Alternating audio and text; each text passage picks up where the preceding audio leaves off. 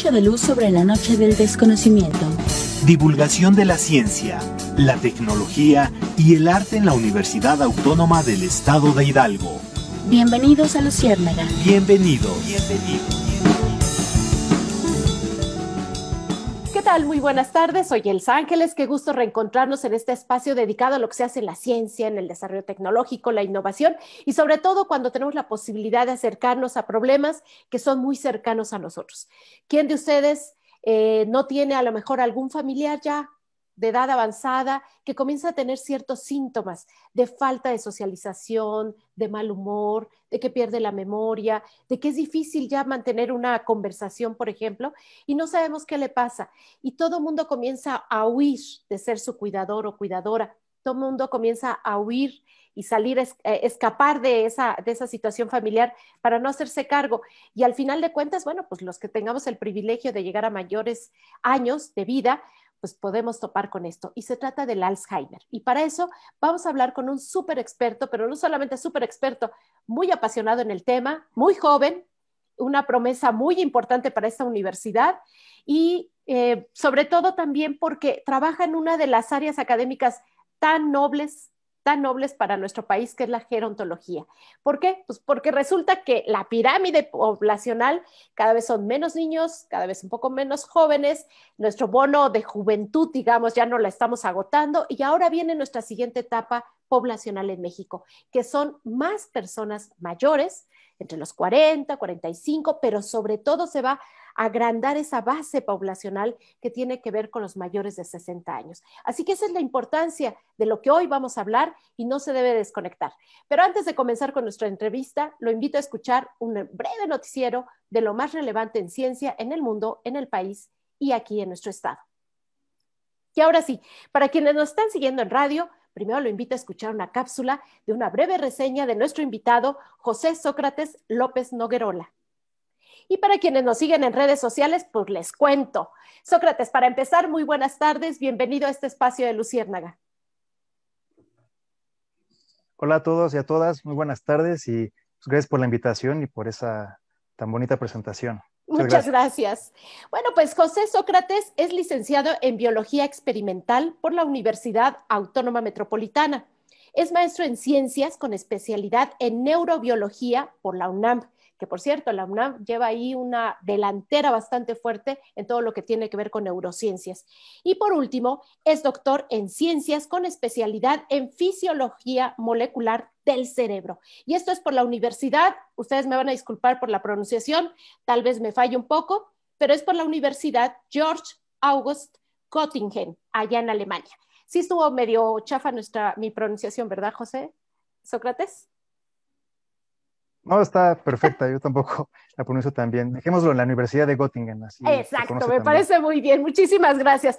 Oye, Sócrates, pues para que podamos empezar a hablar del Alzheimer, primero quisiera que nos ayudaras a entender esto que traemos acá arriba, en la cabecita, cómo, cómo medio está organizado y sobre todo porque son miles y miles de neuronas, estas bases tan importantes de nuestro cerebro que nos ayudan a pensar, a recordar, a aprender, incluso a medirnos en la ética, ¿no? Que, o muchas otras cosas más que tienen que ver con, nuestra vida. Explícanos un poco cómo funciona.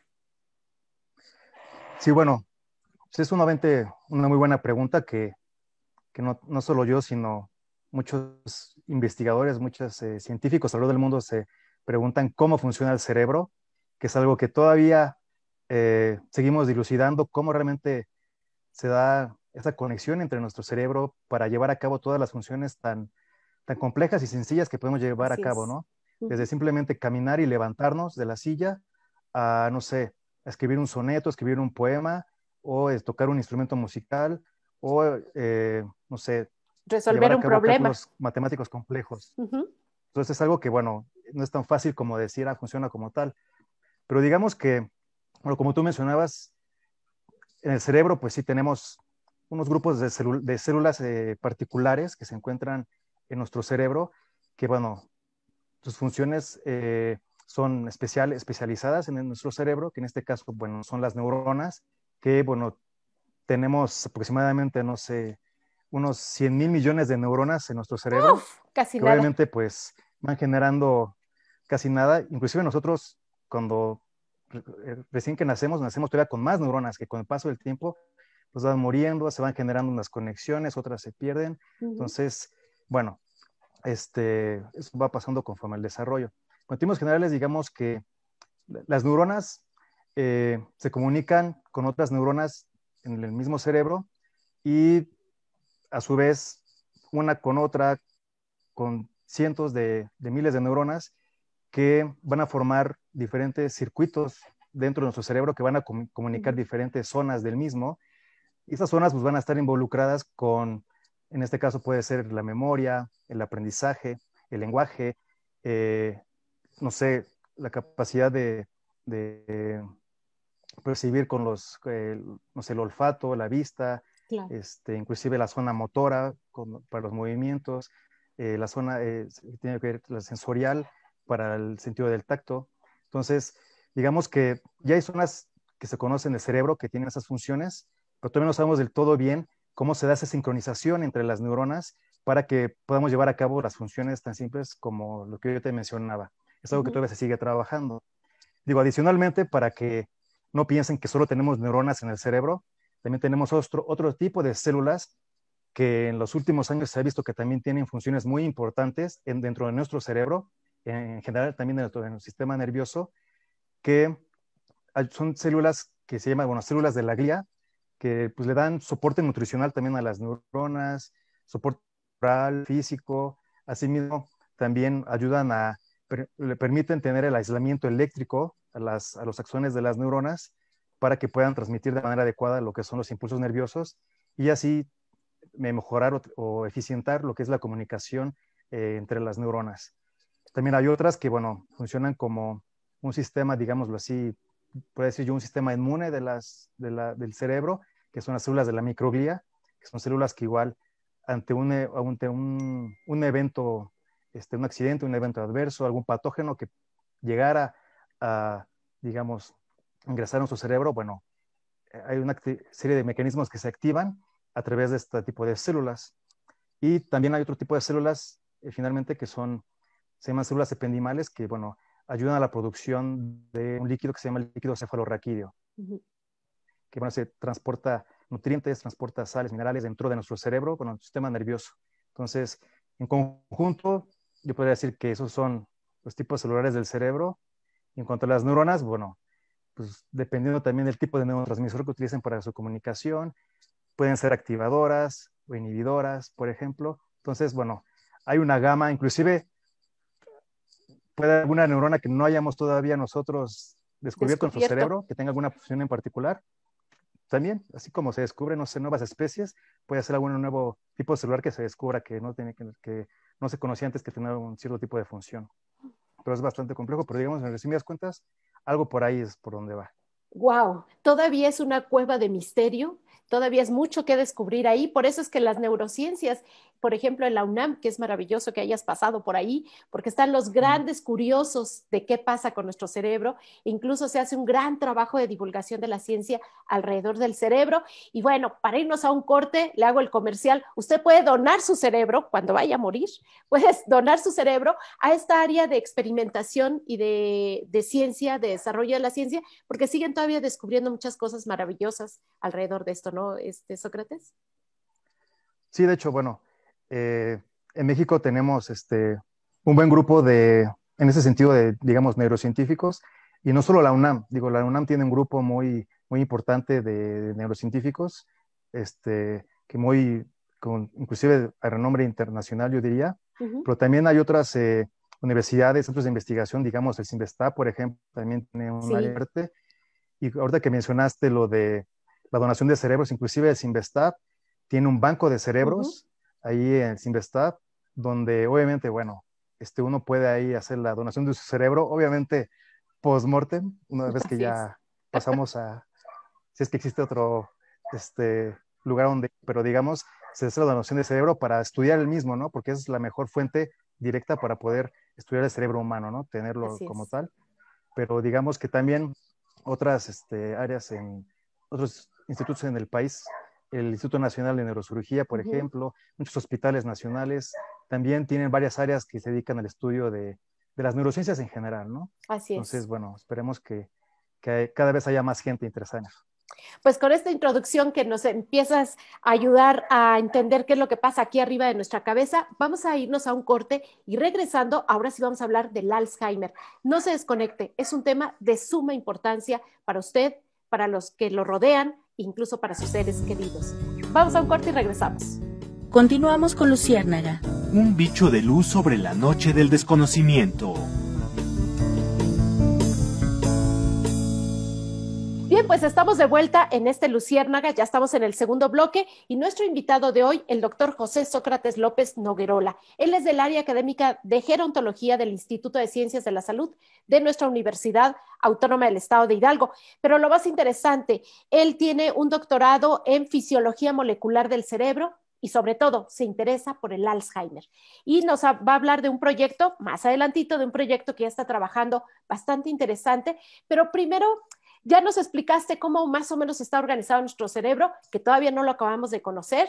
Ya ahí siguen, las, la ciencia sigue caminando alrededor de ello, pero ya entendiendo un poco con lo que tú nos explicaste sobre las funciones de las neuronas, los diferentes tipos de neuronas y cómo están organizados, ahora nos pudieras explicar qué onda con el Alzheimer, porque resulta que de acuerdo a una nota muy reciente que hoy fue publicada en Aristegui Noticias, pues se calcula que alrededor de 50 millones de personas en todo el mundo lo padecen. Y acá en México ya se habla de una actualización de aproximadamente 900 mil personas que padecen Alzheimer.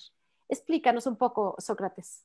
Sí, claro. Bueno, igual, bueno, para las, una, breve introducción sobre el Alzheimer. Bueno, he escuchado alguna vez hablar de esa enfermedad. Sé que tiene que ver con pérdida de memoria, que es una enfermedad de, de gente este, ya vieja o de abuelitos, qué sé yo. Digo, creo que todavía hay muchas cosas que se desconocen, pero bueno, sí es un, es un tipo de demencia, eh, un tipo de demencia que es el más común en, el mundo en general, también en México, no es ajeno a ello.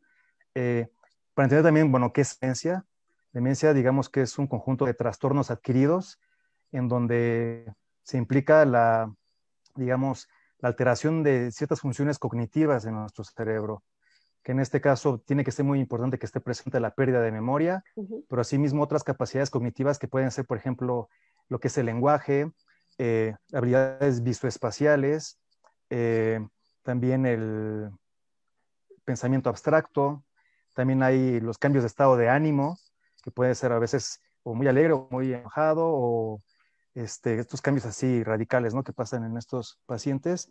Y básicamente, eh, no es de que todos se den al mismo tiempo o de que todos estén presentes. El, que sí tiene que estar presente para que sea considerado demencia es la pérdida de memoria, pero puede ser una combinación de, de varios de estos eh, trastornos, ¿no? Y obviamente, pues trastornos que llegan a afectar la vida de la persona, porque digamos, a veces pasa, ¿no? Como, ay, es que se me olvidó dónde dejé las llaves, ya tengo Alzheimer, ya tengo demencia. o, mi abuelito perdió la llave y no sé dónde está, ya tiene demencia. Digo, no es tanto así, o sea, va más allá, tiene que ser algo realmente significativo y que impacte de alguna manera también en la vida cotidiana de la persona. Claro, Sócrates, además es totalmente normal que pasando determinada edad empecemos a tener pequeñas fallas de, de, problemas de memoria y que no necesariamente tenemos ya principio de Alzheimer. Ok, en cuanto, digo, enfermedad de Alzheimer eh, digamos que la podemos dividir en términos generales en, dos clasificaciones. Podemos clasificar de dos maneras. Hay un tipo de Alzheimer que es, digamos, el más común, que también se llama Alzheimer esporádico o de inicio tardío, donde el factor de, el factor de riesgo más importante en este tipo de Alzheimer es la edad, porque básicamente, eh, pues las personas que padecen este tipo de Alzheimer, pues tienen 65 años o más. Entonces, bueno, la edad es un factor ahí muy importante. Pero también hay otro tipo de Alzheimer que se le llama Alzheimer de inicio temprano o también familiar, que más bien ahí el factor de, riesgo es un factor genético, que ya, digamos que son genes que, que si uno tiene presente esos genes, que más bien son genes mutados, y son genes deterministas, que quiere decir que una vez presentes, bueno, se va a padecer la enfermedad. Este, digamos que la gente que padece ese tipo de Alzheimer familiar es gente que tiene menos de 60 o 65 años, o sea, gente más joven, puede ser a partir inclusive, no sé, de los 50 años, ¿no? Entonces, digamos que en sentido estricto, aunque es menos porcentaje, para entender en términos de, números, el Alzheimer esporádico o el más común abarca alrededor del 95% de todos los casos y el Alzheimer, digamos, de inicio temprano o familiar, que se le llama, es este, aproximadamente el 5% máximo, ¿no? Digamos, es menos común.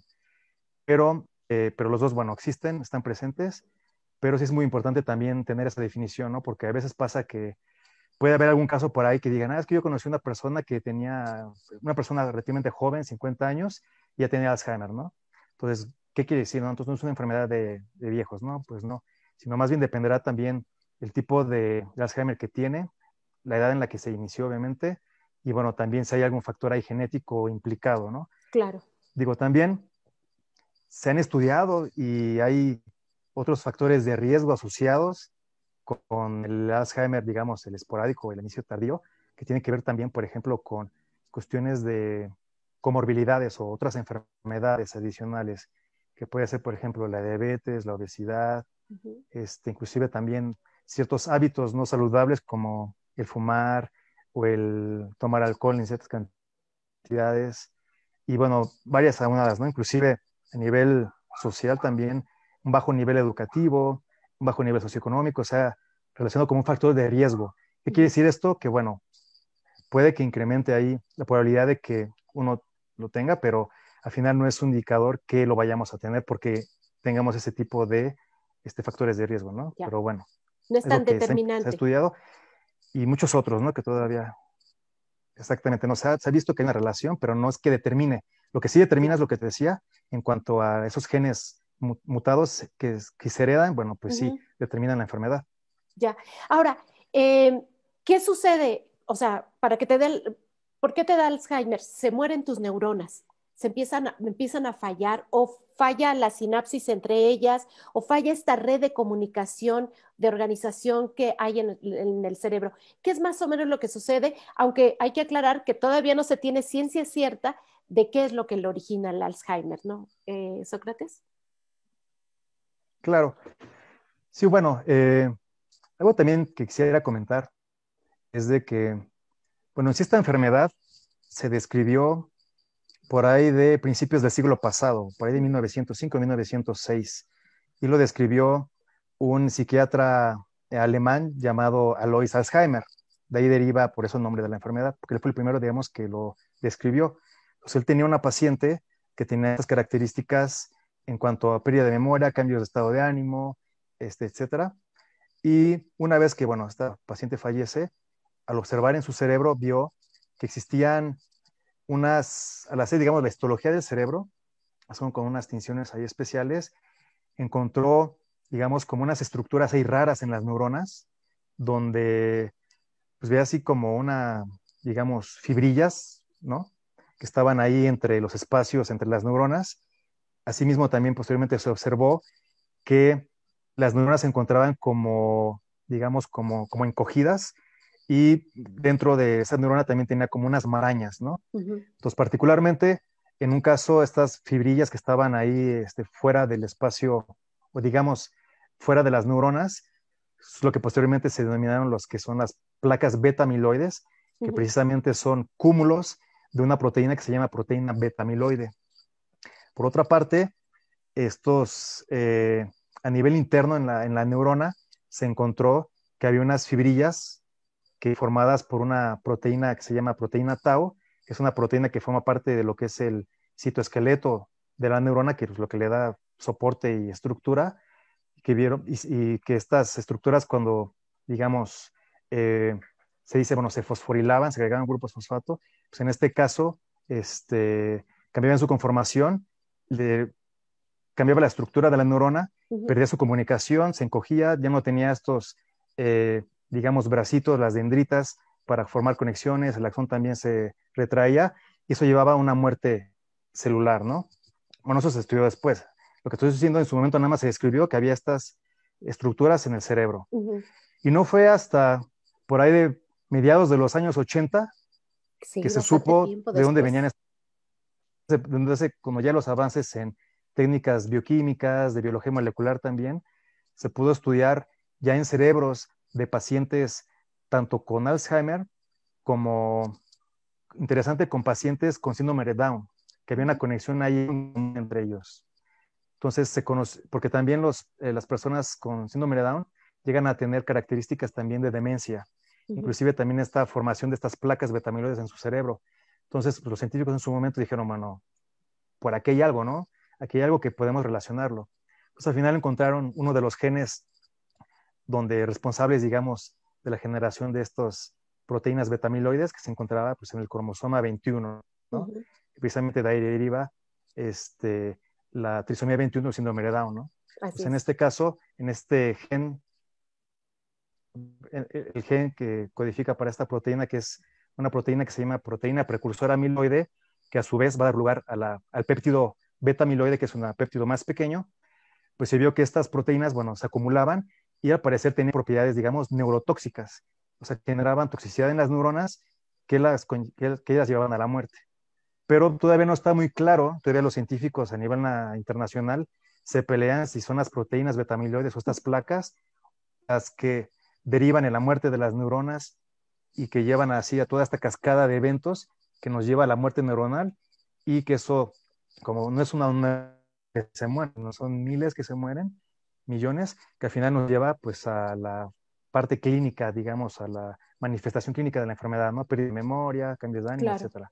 Entonces, no se sabe si es eso o si por otra parte son estas proteínas dentro de la célula que se fosforilan, que esta famosa tau, que es la que, de citoesqueleto que yo mencionaba, que forma algo que se llama ovillos neurofibrilares, que es lo que más bien ocasiona esa cascada de eventos. No se sabe si fue una primero o una después. Todavía, en serio, hay investigadores que claro.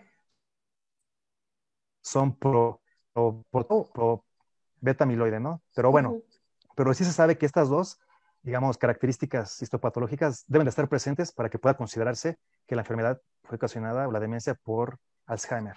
Claro. Eso es lo que sí sabemos hasta ahorita. Y lo que también se ha podido comparar es que de un cerebro normal, digamos, sano, a un cerebro con alguien que terminó ya con el Alzheimer avanzado, se encogió, ¿no? Hay comparativos de cómo se encoge. Lo que se llama eso, digamos, en, términos más... Eh,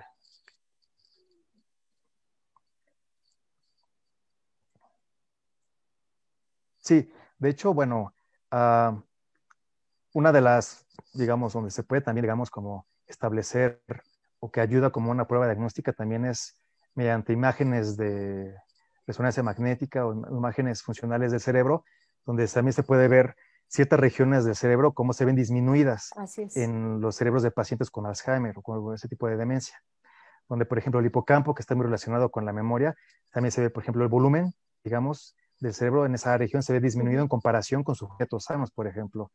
Entonces, eh, y eso, bueno, se, se piensa que, bueno, pues es derivado de, pues, de la muerte neuronal, donde pues vemos que hay un encogimiento, por así decirlo, o en términos más coloquiales, del cerebro, porque pues a la muerte neuronal, pues bueno, se va haciendo un poco más pequeño el cerebro. se denomina que hay una atrofia cerebral, ¿no? Muy bien, pues con esa explicación, sí, con esa explicación ahora en el siguiente corte vamos a hablar de tu proyecto, el que estás trabajando ahora en la Universidad Autónoma del Estado de Hidalgo. Vamos a un corte y regresamos. Continuamos con Luciérnaga. Un bicho de luz sobre la noche del desconocimiento. Bien, pues ya estamos de vuelta en este tercer bloque de Luciérnaga. El día de hoy estamos hablando de Alzheimer y un proyecto muy interesante que se está realizando en la Universidad Autónoma del Estado de Hidalgo con un método que podría funcionar, que es el ayuno intermitente. ¿Quién lo lidera? El doctor José Sócrates López Noguerola, quien se encuentra hoy con nosotros en Luciérnaga. Él es del área académica de gerontología del Instituto de Ciencias de la Salud, doctor en ciencias con especialidad en fisiología molecular del cerebro. Y en los dos primeros bloques nos explicó más o menos cómo funciona toda este, esta maraña que tenemos en el cerebro, que parece una maraña, pero sí está organizada y cada, una, cada parte tiene su función. Y después en un segundo bloque nos explicó qué onda, qué es el Alzheimer, por qué empiezan a morirse las neuronas, todavía no lo saben con ciencia cierta, pero sí saben que se mueren neuronas y que eso va degenerando en pérdida de funciones básicas y elementales. El Alzheimer es triste, es triste porque la persona pierde autonomía y pierde autonomía en la etapa en la que debería de gozar, pues, eh, perdón por lo que voy a decir, el poder hacer lo que se le dé la gana, porque ya trabajó, porque ya fue productivo, porque ya tuvo una familia, porque ya sacó adelante muchas otras cosas en la vida, ¿no? Ya concluyó muchos proyectos y eh, eh, cuando debería uno de estar gozando de la libertad, de la posibilidad de hacer lo que quiera, pues resulta que empiezas a perder muchas funciones vitales y dependes de un cuidador o de una cuidadora. Así que se trata de un problema bastante complejo. Y bueno, Sócrates, ¿por qué le entraste a lo del ayuno intermitente? ¿En qué se basa este proyecto y en qué va este proyecto? Si no lo platicas, por favor. Sí, claro, por supuesto.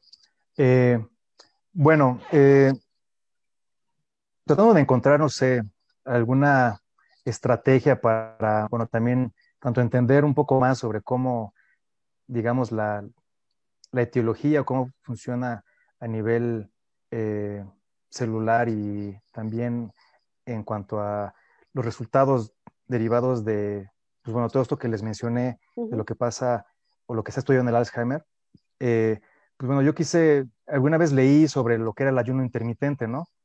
Que digo, es algo que no es algo, digamos, nuevo, que últimamente está, me parece como, al menos en México empieza como una tendencia, en Estados Unidos ya lleva varios años también, otros países también europeos, eh, donde básicamente son estos periodos donde, pues, obviamente, de privación, digamos, del alimento, ¿no?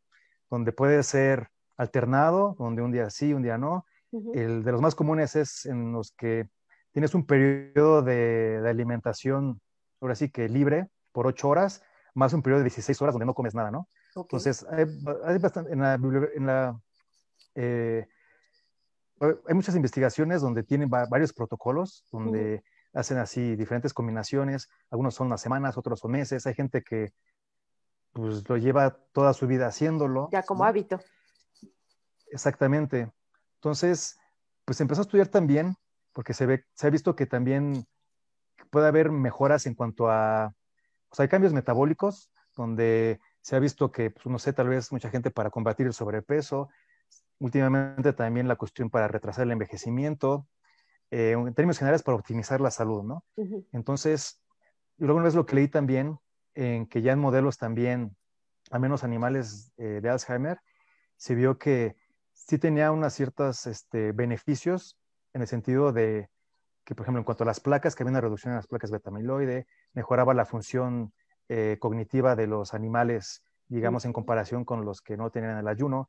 Eh, a nivel metabólico, pues había reducción de, glucosa, el ritmo cardíaco se disminuía, también eh, digamos que algunos marcadores, digamos, inflamatorios se reducían, también marcadores o digamos de estrés oxidativo se habían reducido. Entonces, digamos que sería que varios beneficios, ¿no? Y se reflejaban en el Alzheimer, pues, sobre todo en la función cognitiva, que había mejoría. Entonces, a partir de ahí dije, bueno, este, pues, con el modelo que, que, bueno, que, con el que trabajo en la universidad, dije, bueno, podemos hacer algo similar. Pero además del ayuno intermitente me interesó una combinación donde yo también dije, bueno, el ayuno una combinación con algo que se llama ambiente enriquecido, que ambiente enriquecido, en este caso con los ratones de laboratorio, digamos que es un ambiente en el cual tiene, tienen bastante estímulo, eh, tanto social como sensorial. ¿Qué quiere decir esto? tú tienes un ratón en una caja eh, más grande de lo normal que están los ratones de laboratorio, donde tiene, bueno, digamos, otros ratones que lo acompañan, y una serie de juegos, de desafíos, de una rueda, este, túneles, digamos, este, diferentes colores, texturas, varias cosas. ¿Que lo motive? Y que, bueno, eso le estimula, lo motiva y que además pues este ambiente o esta disposición de los juegos va cambiando este, este, todo el tiempo, ¿no? Nunca es lo mismo. Digamos que el ratón no se aburre. Entonces, digamos que eso también en su momento en modelos animales se vio en modelos de rata y ratón, que también había mejoría en el sentido de eh, en ciertas pruebas eh, conductuales, en pruebas cognitivas, de memoria, por ejemplo, había mejor performance en estos ratones en este ambiente, en comparación, por ejemplo, con el típico ratón que está este, en su cajita con su alimento, pero sin ningún tipo de estimulación, ¿no?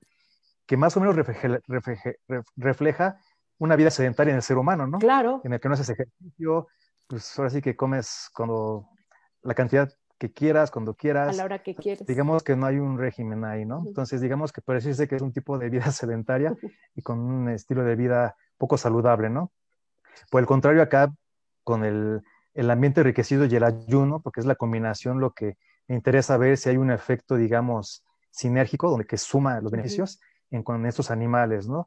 Porque digamos que ya se ha estudiado, ya se ha visto que sí hay beneficios, pero yo lo que quería ver en este caso, ¿qué pasaría si hago una combinación de los mismos, ¿no?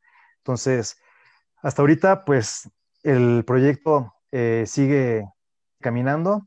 Este, Está en la, etapa experimental. pero, pero, vamos bien. Estamos todavía en la etapa experimental con, los, con los... Sí, seguimos en la etapa experimental, pero ya digamos que, que estamos terminando. También me está apoyando una estudiante de, de maestría, Diana, que es una estudiante muy buena.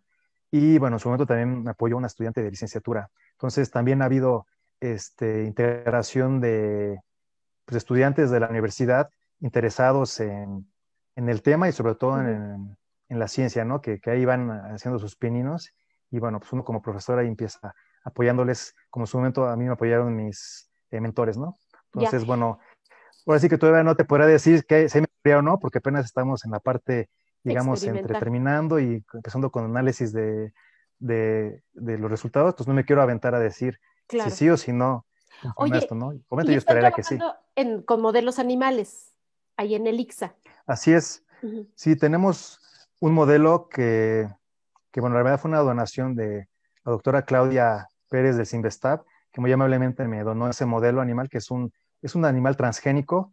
¿Qué quiere decir esto? Que bueno, en su genoma tiene insertados genes que no son propios del animal, que en este caso son genes humanos. Bueno, ya se sabe que, que, que tiene que ver con la enfermedad de Alzheimer. Entonces, digamos que es un poco eh, reproducir, al menos en este caso, lo que pasaría de alguna manera en el cerebro de una persona con Alzheimer, bueno, en este caso en, en el ratón.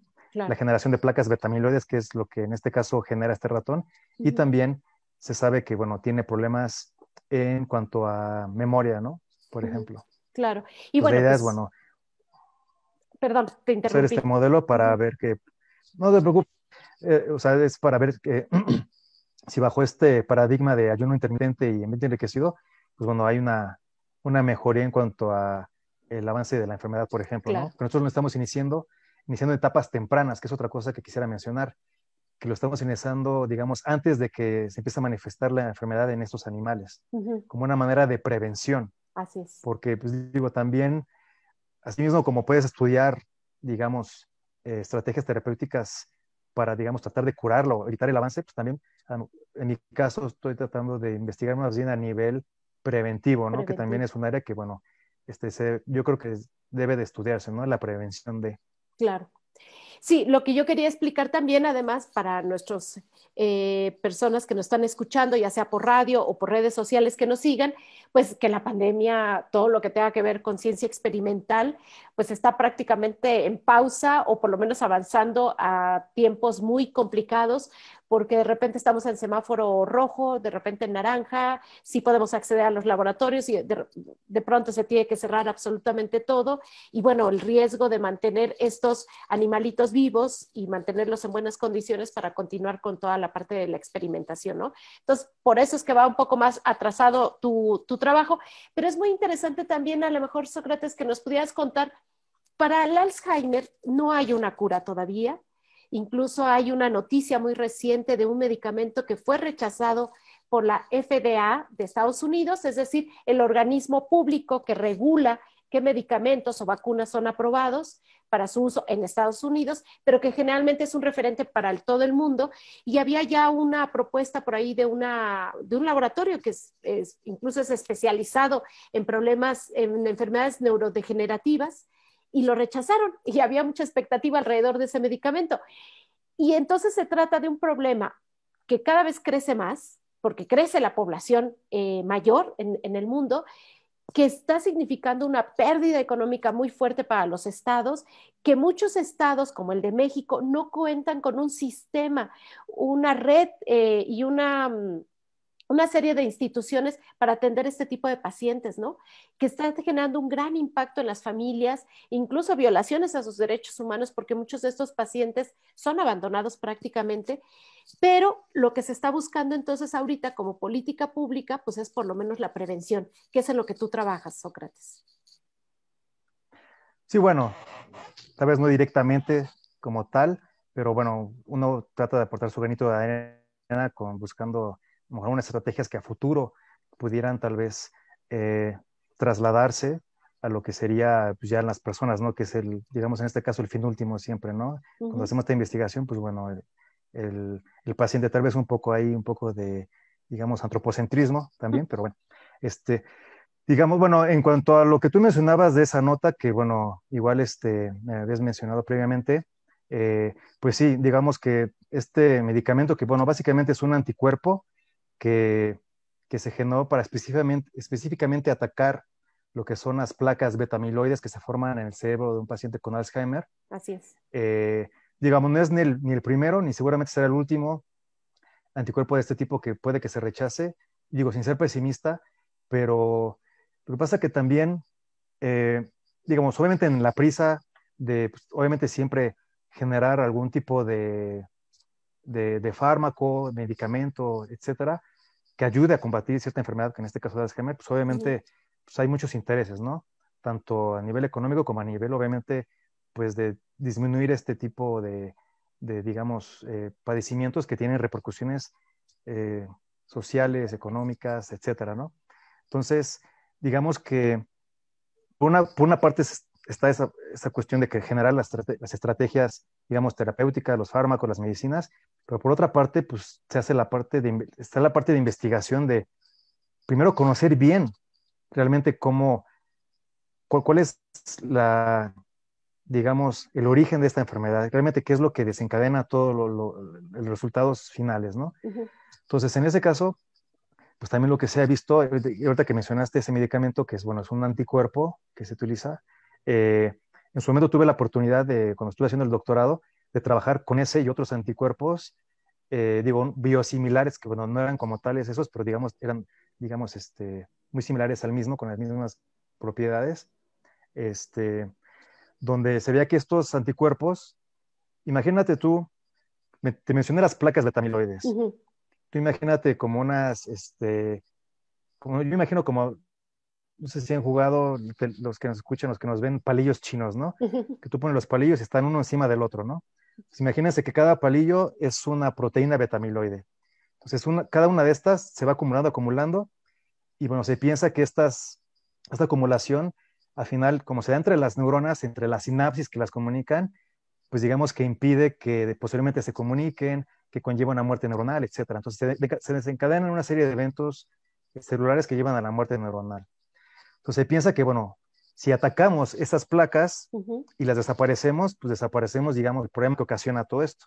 Uh -huh. Pero lo que se ha visto, por ejemplo, lo que vimos en su momento en el laboratorio, es de que estos anticuerpos, que inclusive ya estaban en varias fases, ahorita que ya están de moda, bueno, de moda, digamos que ya es, es como más del dominio público lo de las fases, fase 1, fase 2, fase 3 o la fase preclínica. Cuando inclusive. se experimenta ya con las personas. Exactamente, uh -huh. exacto, en esas fases clínicas que ahorita ya está muy, se escucha mucho por esta cuestión de las vacunas, digamos que a pesar de ello, pues puede ser que un medicamento se pueda rechazar, ¿no? Cuando llegue a tener una cierta condición.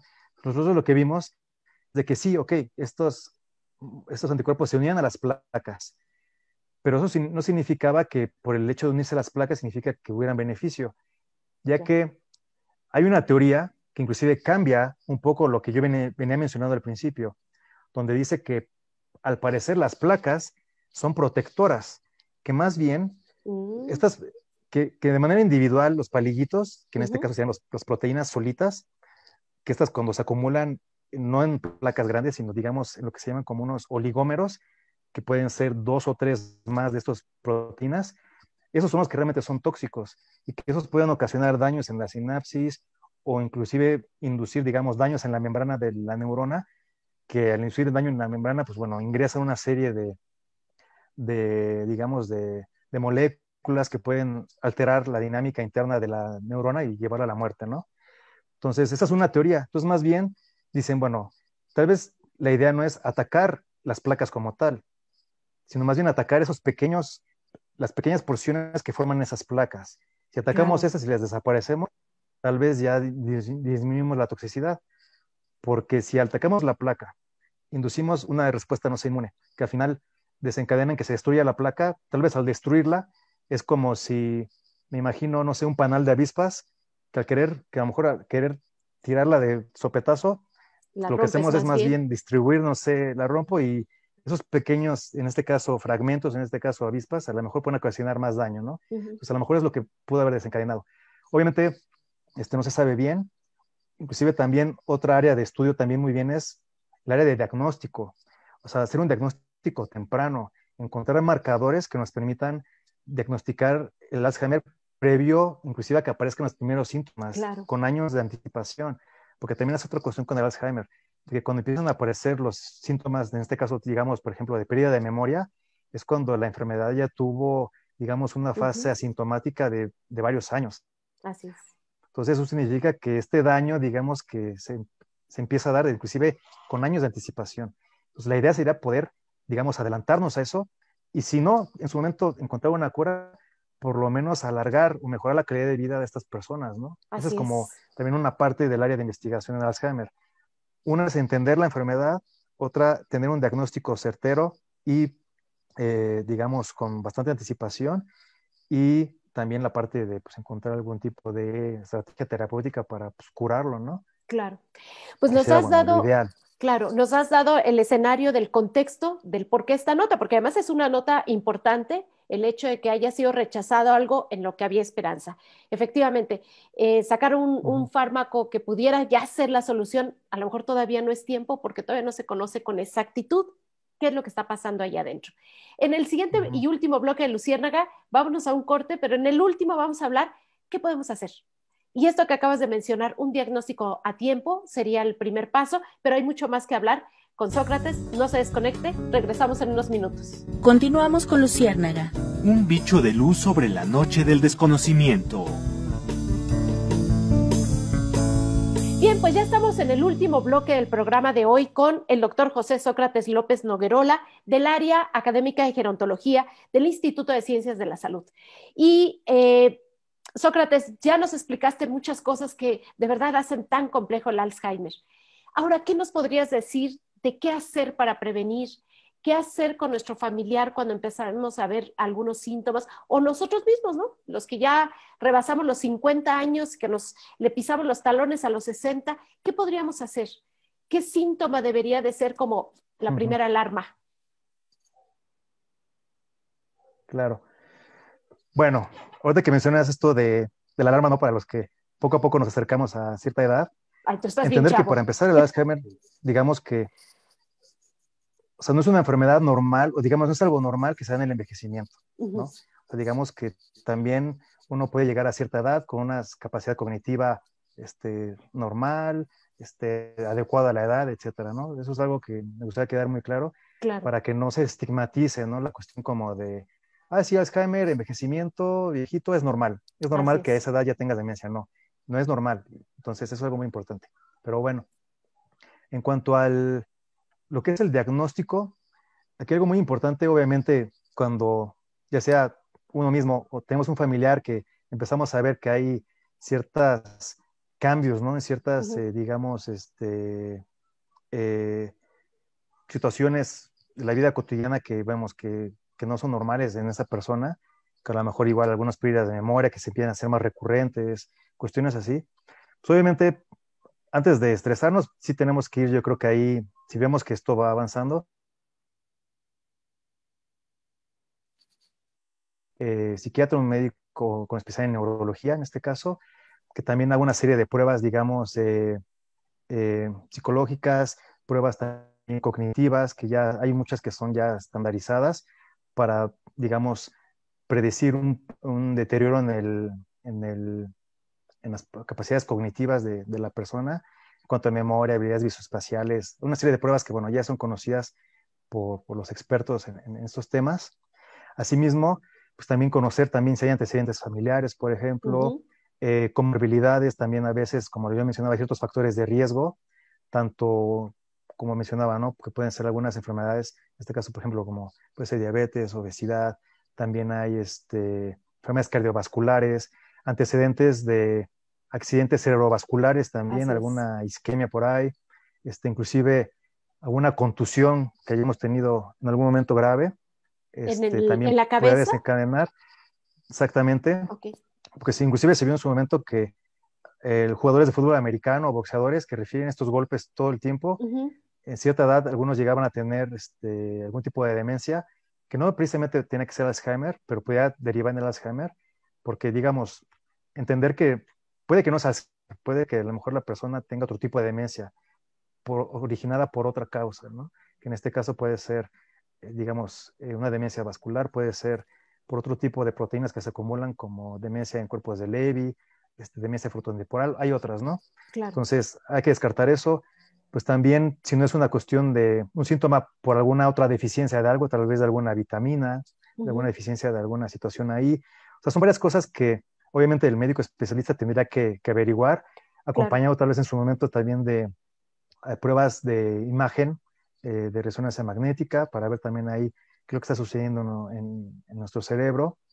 Y pues obviamente algo muy importante siempre, pues el apoyo familiar, ¿no? Creo que eso es indiscutible, que eso es muy importante, el apoyo del, círculo cercano, de los familiares, tanto, bueno, obviamente para el paciente. En su momento también, si, bueno, si se da un diagnóstico, digamos, de, esta demencia, pues bueno, el acompañamiento, ¿no? Al final, digamos, hay, gracias a esta, bueno, nueva eh, era digital y de información que se encuentra todo en Internet, pues bueno, yo he visto que hay bastante información al respecto. Yo les recomendaría, por ejemplo, hay una que se llama ALS.org, que es la, bueno, la Asociación de Alzheimer Internacional. Tiene una página en inglés y en español donde te explica ahí también, por ejemplo, qué hacer en caso de que sospeches de una persona con, con la enfermedad, este, cuáles son los síntomas, este, qué esperar, los medicamentos que hay disponibles ahora para tratar los síntomas. Y está muy, muy bien explicado para, para cualquiera que, digamos, no sea especialista en, medicina o en biología, etcétera, pero está muy bien explicado. También hay asociaciones en México, la Asociación de Alzheimer también tiene su página. este, digo, a la mano no tengo ahorita los números, pero está disponible. Y también, bueno, hay centros, el Instituto Nacional de Psiquiatría, también está el Instituto Nacional de Neurología y Neurocirugía. Entonces, hay varios institutos y hospitales a nivel nacional que, que bueno, que trabajan, ¿no? Con, tanto en investigación como en atención a nivel este, clínico, ¿no? Entonces, yo creo que aún así, en comparación con otros países, creo que, que nos falta mucho por hacer, pero yo creo que, que, se han hecho bastantes cosas avanzado con gente que tiene el ímpetu y el interés de, bueno, de entender qué es lo que pasa, ¿no? Porque también digo, con el, como lo mencionabas tú al principio, pues algo que, que no podemos, digamos, eh, retrasar o digamos no podemos quitar el curso de es el envejecimiento, ¿no? Y este va a ir avanzando todos, digamos, de alguna u otra manera vamos a envejecer y llegar a un punto, ¿no? Digo, si bien nos va, como dicen. Si bien nos va. Entonces, es muy importante también entender que obviamente hay otras, muchas enfermedades alrededor que también son muy preocupantes y que todavía se encuentran muy presentes en México, pero entre las demencias o enfermedades, digamos, mentales también, son las que todavía tienen como poca, poco interés en general, pero que se van a ir presentando cada vez más y son más comunes en, en las personas y que, pues bueno, con el, el avance, de, digamos, de, o este cambio en la pirámide poblacional de que las proyecciones para 2050 es que va a haber mayores que personas menores de 15 años. Entonces eso es algo que pues, debemos irnos preparando, ¿no? Nosotros mismos como a los demás, ¿no? Entonces creo que pues, hay muchas cosas que, digamos, digo, también por el tiempo podemos seguirnos extendiendo, pero básicamente es lo que yo les podría comentar o sugerir. Muy bien. Ahora, Sócrates, eh, es una enfermedad de difícil diagnóstico, hay que acudir con especialistas, es muy complicado para quienes dependemos de instituciones públicas de salud brincar del médico familiar a los especialistas, pero creo que has tocado un punto muy importante porque las familias tienen que saber, o los propios pacientes, que hay que insistir en que sea un diagnóstico temprano y por expertos, o sea, por, por el neurólogo, por el psiquiatra, como brincar más allá de la medicina familiar y no minimizar algunos síntomas. Pero además también hay una tendencia por empujar a una vida saludable. Esta pandemia nos pescó con los dedos en la puerta con un problema de epidemia de obesidad, epidemia de diabetes, eh, problema de hipertensión demasiado común y normalizado, digamos. Y entonces hay ciertos alimentos que tú pudieras decir que de verdad, de verdad le tenemos que huir para evitar como medida preventiva este tipo de problema o todas las demencias.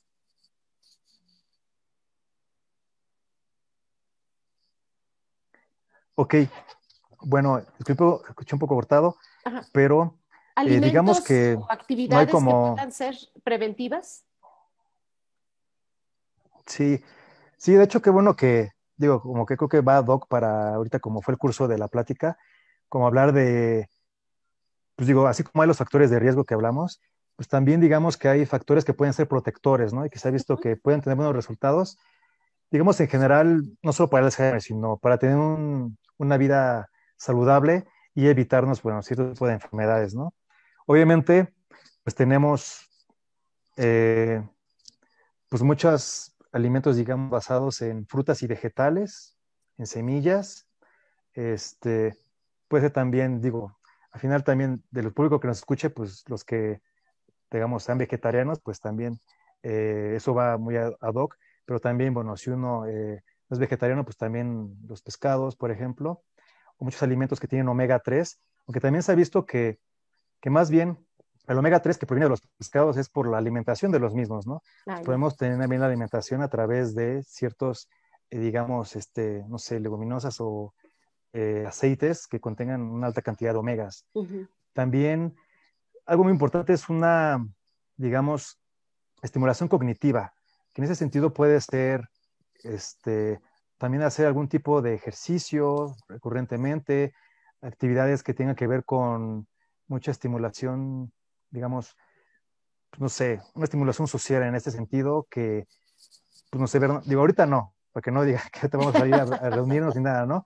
Pero obviamente, en el medida de lo posible, está, tener actividad social, o sea, por ejemplo, si, tenemos adulto mayor o la persona de demencia abandonada, que digo, bueno, pues él ya como no me entiende, pues no, no, no trato de entablar diálogo con él o con ella.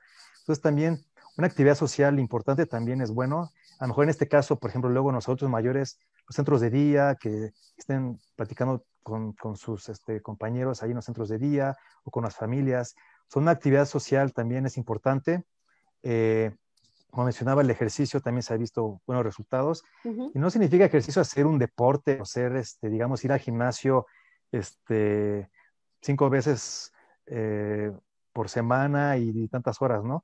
Sino no hacer una caminata también, no sé, de media hora. Si tenemos un, una mascota, sacarlo a pasar una o dos veces al día. Claro. Este, alguna actividad en casa que nos permita, no sé, inclusive algo como pues, alguna actividad física en la casa, ¿no? Que si vamos a lavar el auto o este, inclusive hacer un poco del quehacer, no sé, cuestiones así, también, pues digamos, también todo esto en general también nos reduce el estrés. Así O sea, el estrés mental, el estrés físico, también se ha visto que la reducción de los mismos a través de estas actividades, o inclusive también a través de alternativas como tal vez eh, práctica de, yoga o de meditación, también se ha visto que puede haber una reducción. Para lo mismo, igual, no, uno no tiene que ser el experto de, ah, es que yo no sé qué es eso.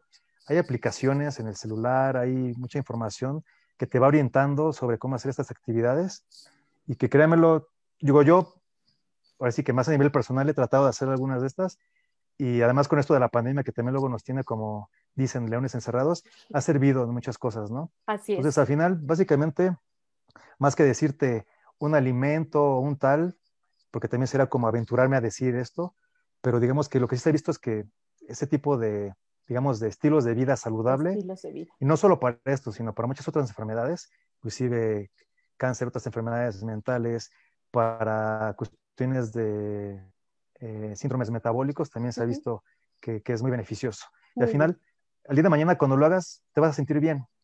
Yo no conozco a alguien que después de ejercicio se sienta mal. Entonces, hasta la neurosis le baja uno bastante con eso. Muy bien, Sócrates. Pues ha sido un gusto escucharte descubrirte como investigador, eh, saber lo que estás haciendo ahí en el área académica de gerontología y por supuesto están abiertos estos micrófonos para cuando tú los quieras asaltar, porque hay muchísimos más temas de lo que tú manejas, haces ahí con los estudiantes, haces como investigador y como docente. Te agradezco mucho que hayas aceptado esta invitación y pues esto, una vida saludable. Muchísimas gracias. Gracias Alfredo Barrón por todo tu apoyo técnico para la producción de todos estos programas. Gracias a Daniela Villegas, nuestra productora en Pachuca, y a todas las personas que hacen posible que este programa Luciérnaga de divulgación de la ciencia se pueda repetir en las seis estaciones que ahora conforman el sistema universitario de la Autónoma del Estado de Hidalgo. Soy Els Ángeles y que tengan una muy saludable tarde. Divulgación de la ciencia, la tecnología y el arte en la Universidad Autónoma del Estado de Hidalgo. Entrevistas, información, actividades institucionales en materia de investigación. Te esperamos el próximo martes a las 12 horas. Luciérnaga. Luciérnaga. Luciérnaga.